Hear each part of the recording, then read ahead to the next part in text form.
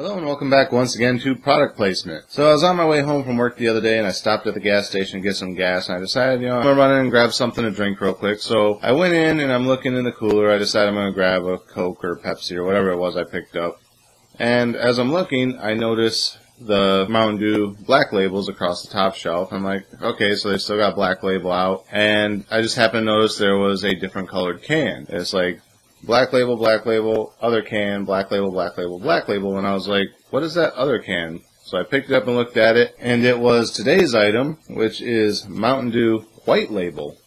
So when I originally saw it, it was like this side of the can. I was like, what is this, Diet Black Label or something like that? And I picked it up and it's White Label. And I didn't get it right then. I waited a couple days to get it until I got my paycheck in. So I came home and looked it up, and it actually led me to a couple other things that you'll be seeing in the next few days. Uh, but White Label is a mysterious exotic dew. It's dew with crafted tropical citrus. So where Black Label is more grape flavor, this is more of the citrus flavor that you've seen in things probably very similar to Whiteout or uh, just like regular Mountain Dew or Distortion or maybe it's closer to like a Sprite. Uh, it is the white label, so I'm guessing it probably does have some form of energy drinkness to it, but uh, I'm not sure because it doesn't say that on the label. Anyway, let's crack this open and see what we think.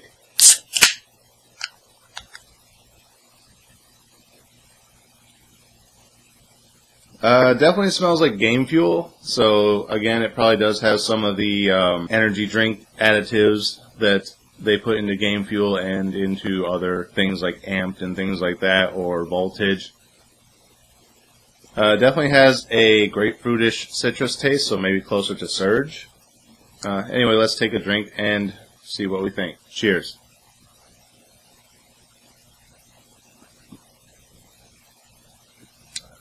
Definitely has a tartness to it. Definitely grapefruit flavored. It's kind of smooth going down, kind of like whiteout.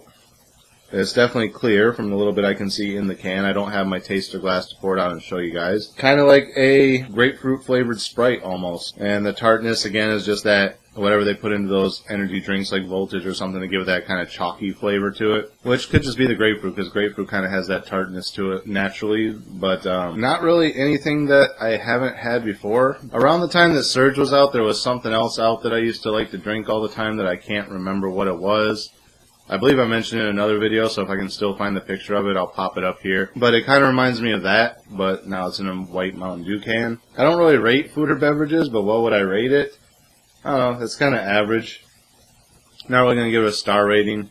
It's not horrible, not the best thing I've ever had. Would I buy it again? Eh, if I was in a grapefruity kind of mood or just wanted something uh, like whiteout, but not whiteout, which honestly between this and whiteout, I'd probably just rather have a whiteout because it doesn't have that chalkiness to it. Yeah, I mean, if I was in like a, I want something smooth like whiteout, but with a grapefruit flavor, uh, I would probably grab this again. I'm not sure how long it's going to be on the shelf for. It could just be a limited time thing. But yeah, that's Mountain Dew Whiteout. Yeah, not much else to say about it than that. So that's it for this episode. Again, sorry these are short, but they're kind of uneventful.